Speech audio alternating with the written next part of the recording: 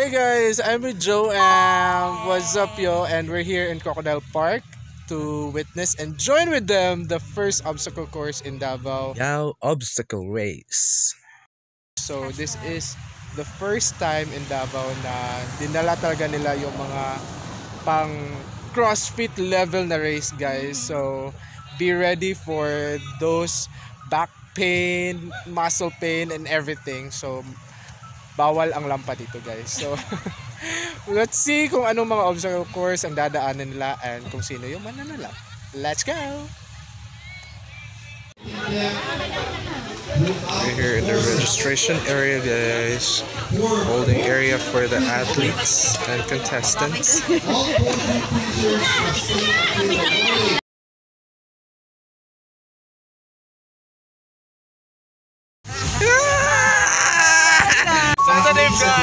slowly gather here in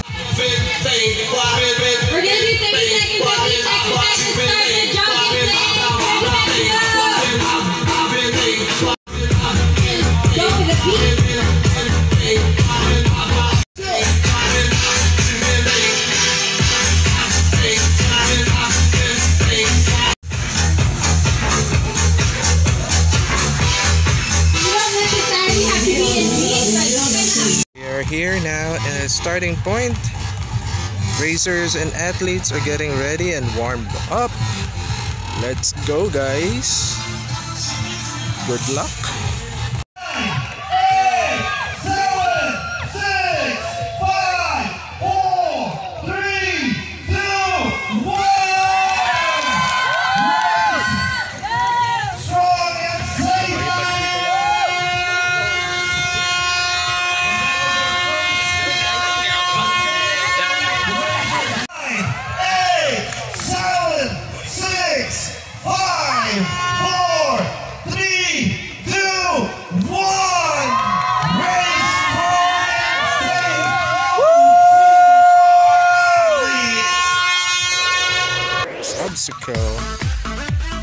Let's go.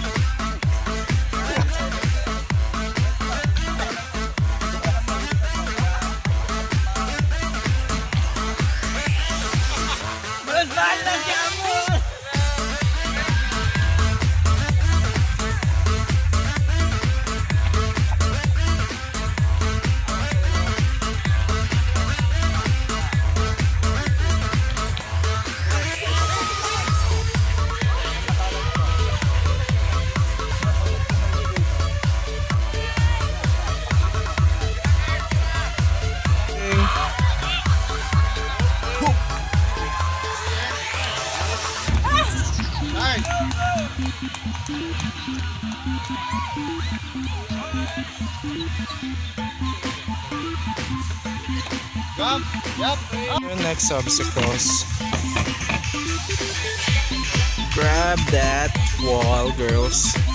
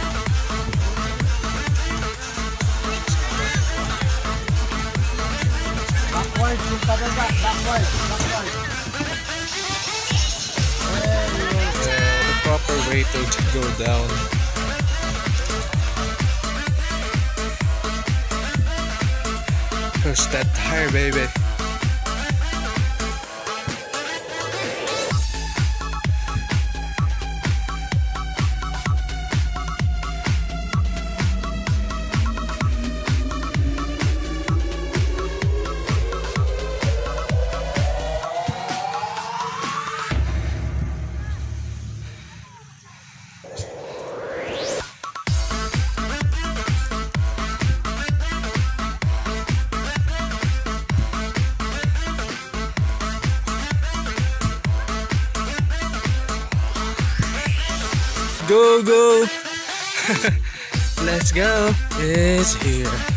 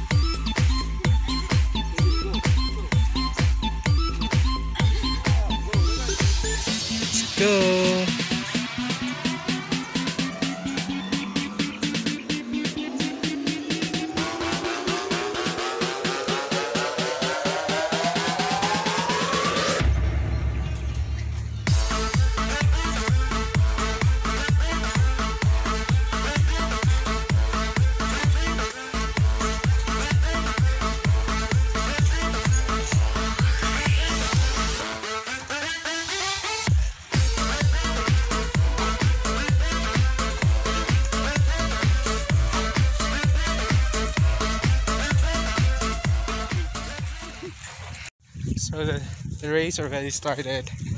And the hard part thing is during documentation is I'm it feels like I'm also racing kasi kailangan ko silang habulin for the next obstacle. And yeah, I think it's just one fourth pa lang ng obstacle na natapos nila. And hopefully they're able to finish it strong.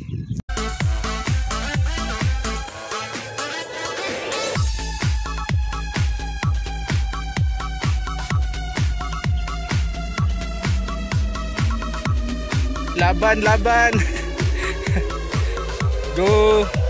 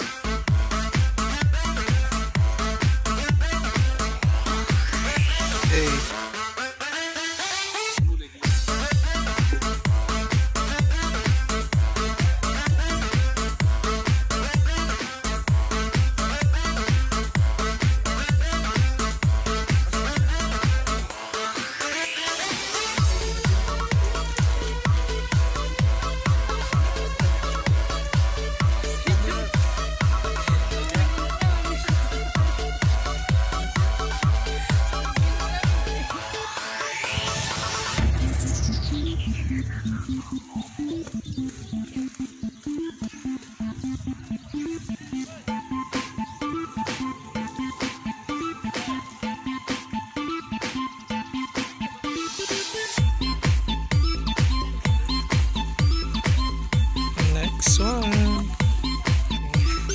Running again, guys.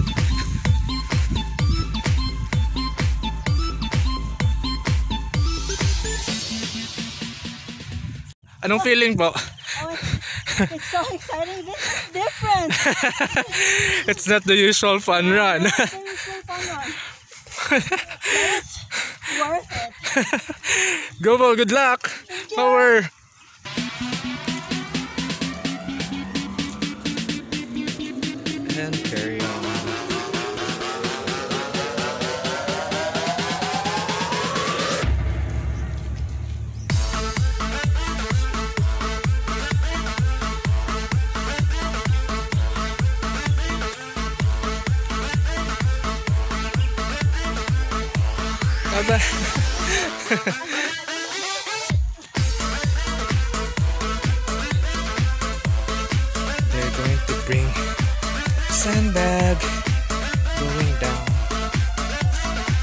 producer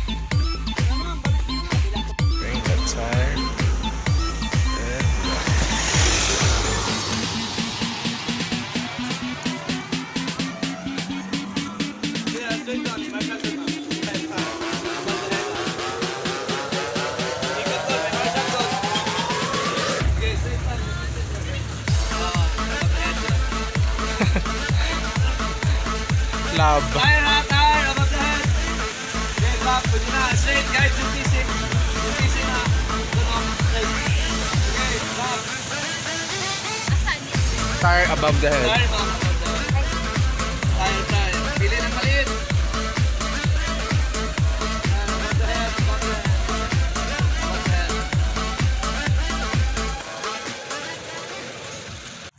I'm going back na sa starting line or sa finish line and some of the team team part or team series is still ongoing so medyo watching it guys is sobrang nakakapagod grabe hindi siya basta basta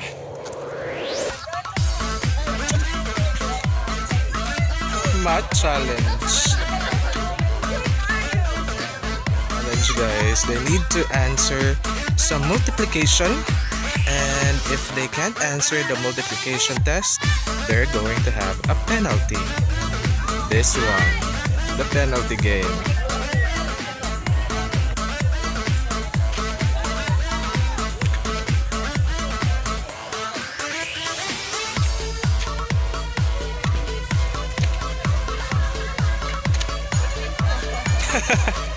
My God, nag-function pa bang?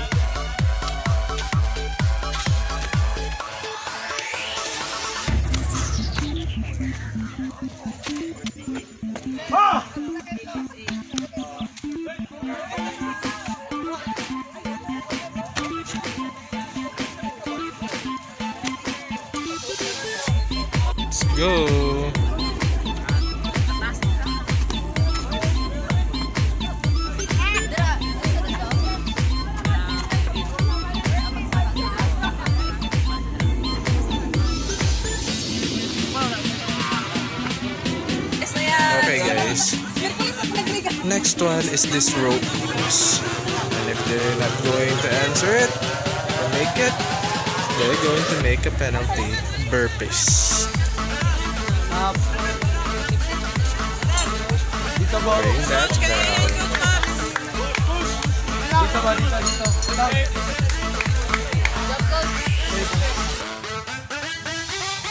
Grab that pole.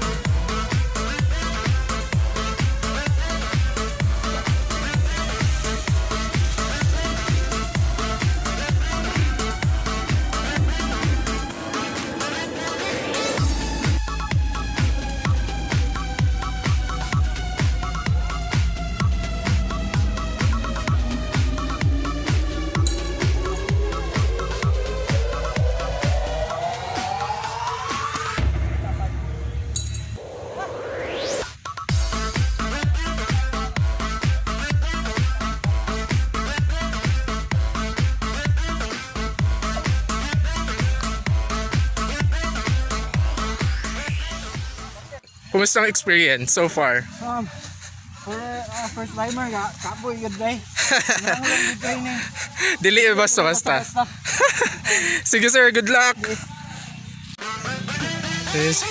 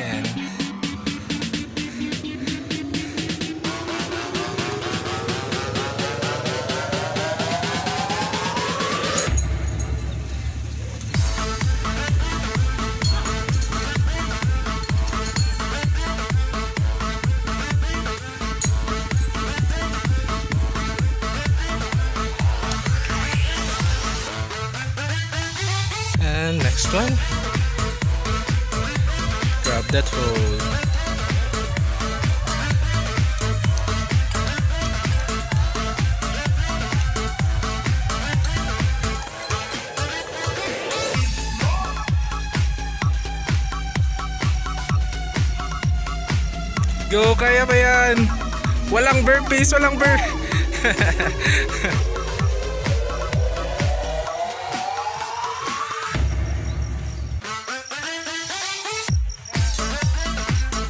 Let's go. Oh my God! I missed you, girl!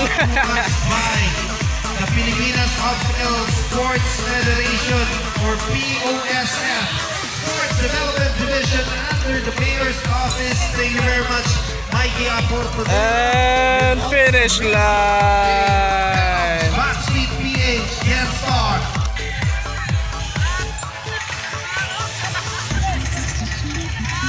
Burpees.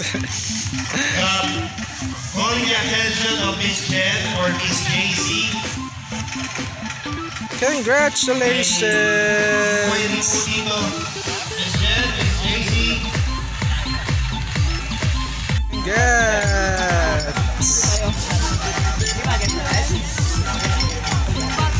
And we're here in finish line, guys. This is the Yellow Obstacle Race.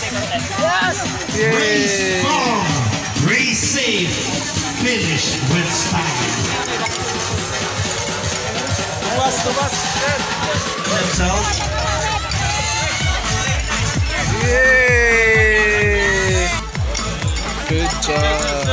This area. Meals. And Tandua. Sarah Sarah. Hi Sarah. How's the event or the course? It was fun. It's nice to have um, different obstacles this time. and it's nice that it's not in Manila. Yeah. You're from what? Manila. Oh wow. Thank you for coming here in Davao. Yeah. Congratulations. How about you, sir? Oh, hi. How's the event? Good, good, good, good. Ah, ano yung pinakamahirap na course na na-experience mo? Oh, I see. Pero naka-penalty ka ba or the burpees? Wow, congrats! Congrats. Thank you guys for coming. Nakailang, nakailang penalty ka? Naka-penalty ka? Isa. Ah, okay, okay, okay. So, kumusta yung experience, whole experience mo? Ah, first time na ako nito, so medyo challenging siya para sa kuha, pero mayo na lang. Okay, a special request in the mindset. Your team Oh, is here supporting you. This is what Pero ang ang preparation ni mo mga how week, pila ka weeks? Finish with Actually, karang week style. lang ako nakabalo Ah, competition, so one week straight ko nag-gym. I see, I see. Pero sulit pa rin kasi naka-isang burpees lang. Actually, gusto mo kung appeal Finish. Kay hindi pa na ako challenge yung first ever the Yellow Obstacle Race. Yay! Congrats! Thank you, thank you. Na nakita mo yung mga finishers na. So pressured. But uh, kahit mainit, uh, really have to undergo kasi Oo. Sayang yung sayang binayad. Sayang pera mo. Ready ka na ba sa mga burpees penalty? Sanay kami ng burpee pero yung HIIT training, Oo, yun yung mahirap eh. Sobrang init talaga. Congrats! Ay, good luck. Good luck sa event.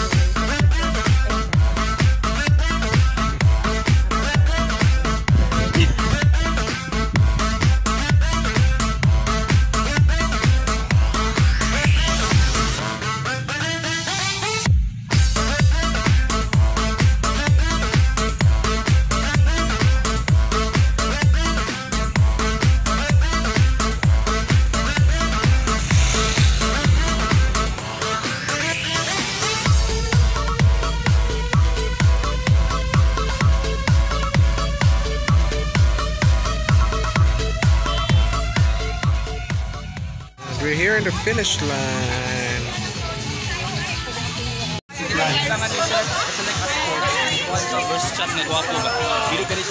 Race. Ah, Anong version pala ng anong kaibahan racing with a team and individual? Ah, actually sa team ang good na ami teamwork. Ano talaga tabangay ni kanang dili siya ikaw lang yung mag mag burden, ikaw lang nasa mo lang ang burden. Na kay mga teammates na mutabang sa sa lo sa Sa struggle. so, sa mga courses ngayon nagyan, unsa ang pinaka-struggle jud ninyo? rope Rope climb. Oh, may mga sa browses. maka maka oh, roper. Pero ang struggle po is yung first kato. Pati po ang sandbag. Actually, tanan. Tanan para patas. Pero na, so planning to join again next year. Oh, Bigger. Individual. better. Individual. Kaya na siguro. Pwede na, oy. Pwede good, pwede good. Pwede team, pwede ano, individual. Ah. Yeah.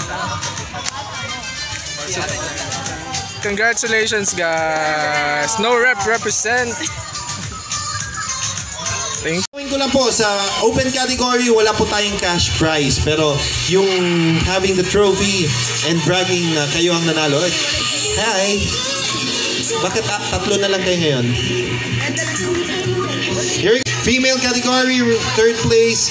Race number 152, Kathleen Lorente.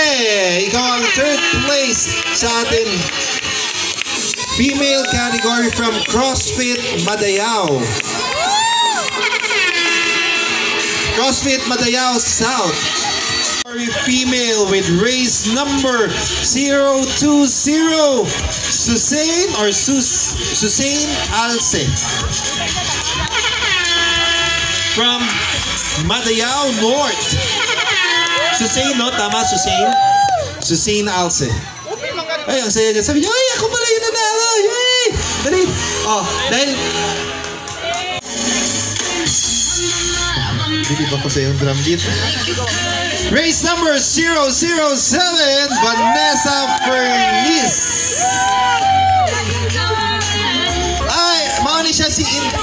Ah, mauni na siya si Inday Isug. Daghang fans. Nakulig tabang ning fans club ni mo di Inday Isug goes to athlete number 126, Jasper Messias. I know it's strange, we're both the crazy kind. You're telling me that I'm insane. Is athlete 200, Jamilo or Hamilo Pakot. Ito yung mag-asawa, bagong kasal, 3 months pa lang, kaya inspired. For male category, male open category is athlete number 349, Romel Baid. First, second, third, pa-double check lang. Ang elite, baka kasi pong may nakalagay elite po. 59 minutes and 59 seconds.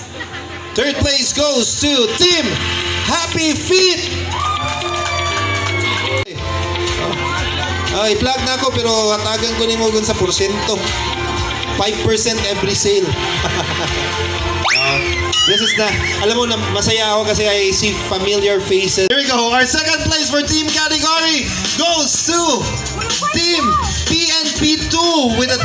35 minutes and 39 seconds. Ano to? Team of 7. Ayan, congratulations, sir.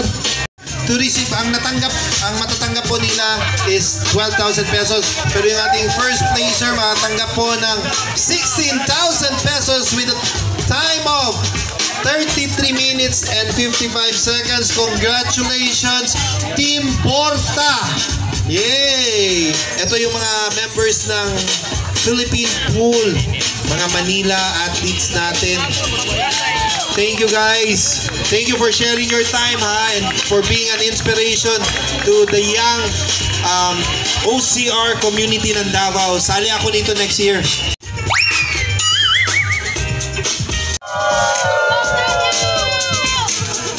The youngest athlete. We would also like to acknowledge OCR Tube International for covering the event. Sir, maraming salamat po. Place podium with a time of 51.56 goes to Richel Abelia.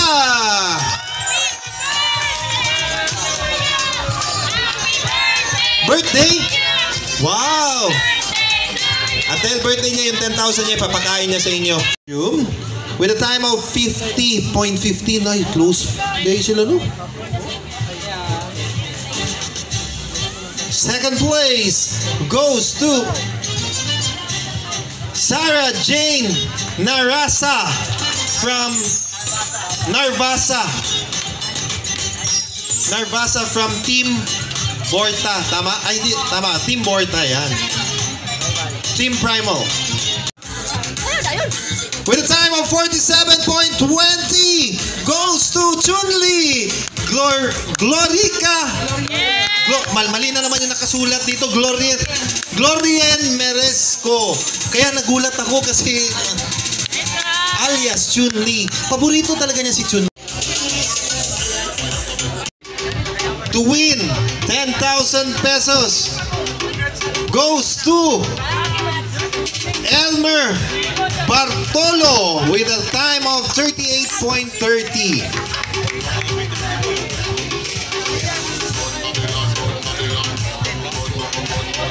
Thirty-four point eighteen goes to Jeffrey Regino.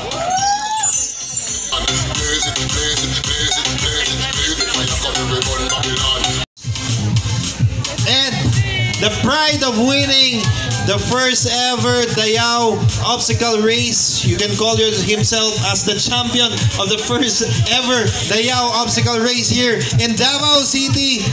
Manolito Divina with a time of 33.39.